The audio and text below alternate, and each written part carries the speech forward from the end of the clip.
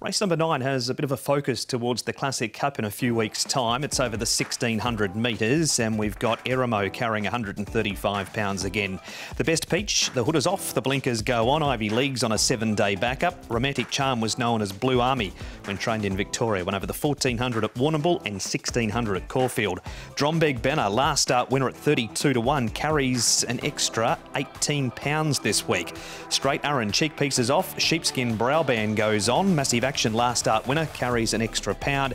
Happy together, beaten narrowly last time behind Voyage Bubble. Powerful wings, Thomas placed four from six course and distance. Yeah, and the speed in this race uh, looks to be fairly good. So with a horse like Massive Action who can get rolling in front, he's dropped a bit of weight on that last start uh, performance, 27 pounds. Drombeg Banner led them up, so he's potentially an alternate leader if Massive Action uh, wasn't there. And uh, Circuit Mighty goes forward to Paul, but uh, hasn't done a great deal in this grade. Does tend to struggle. There's quite a few horses that do get back in this race. Yeah, so look, I think those three will, will go clear, and then Eremo can get in uh, into a nice position. Happy Together won't be far away, but as you mentioned, a lot of horses like Ivy League, Straight Arran, Powerful Wings, the best Peach should go back.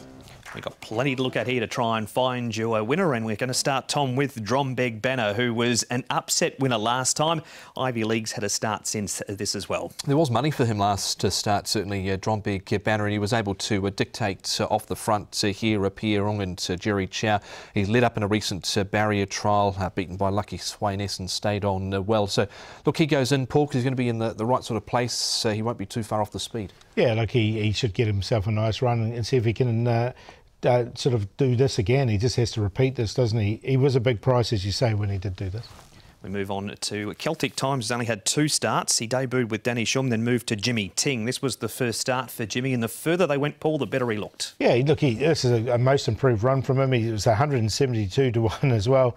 Uh, he's drawn uh, 12, so he's another one of these ones that'll get back and just see if he can get the race run to suit. Yeah, and he'd actually trialled better uh, leading into with this assignment. Uh, had uh, Celtic at times. A couple of trials before this run were certainly a lot uh, better, and he was able to make ground uh, along the inside to there. No match for the, the top two, but uh, certainly was doing his best work late.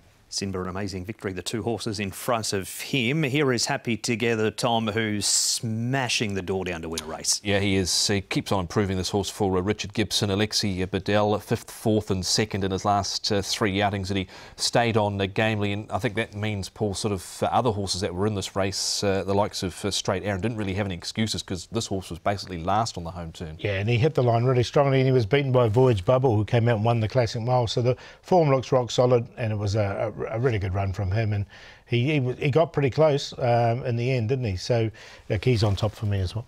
That's a good report for Happy Together. Next up, Paul is Casa Cosmo, and this is him running fifth at Happy Valley last time. Yeah, better run from him as well. He's drawn nicely, so he should get himself into a, a better position as well. Uh, Casa Cosmo, he didn't quite get in, but uh, look, he wasn't too far away.